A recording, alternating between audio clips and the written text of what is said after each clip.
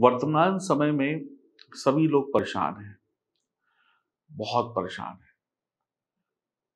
कोई कह रहा है कि मेरा काम नहीं बनता, कोई कहता है मेरा वक्त खराब है।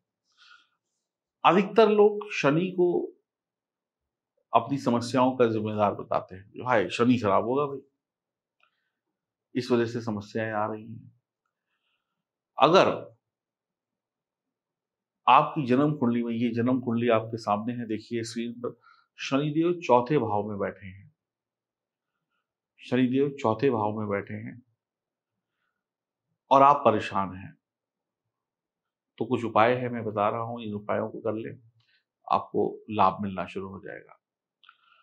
एक तो कौवा होता है ना, कौवे को रोटी खिलाएँ।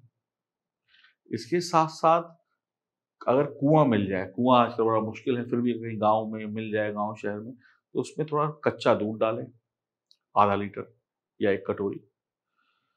शादी हो गई है तो दूसरी स्त्रियों का ख्याल मन से निकाल दें, प्रेम संबंध में है तो ईमानदारी बरतें। शनि से संबंधित चीज़ों का प्रयोग ना करें। रात में दूध बिल्कुल भी ना पिए। हाँ बच्चे पी सकते हैं, बीमार पी सकते हैं। और बहते हुए पानी में शराब बहाएँ। चार बोतल शराब, छोटी, बड़ी जो भी हो, एक ही जैसी होनी चाहिए। बहते हुए पानी में बहाएँ और खाली कांच की बोतलों को या प्लास्टिक की बोतलों को पास में कहीं कूड़ेदान में डालें।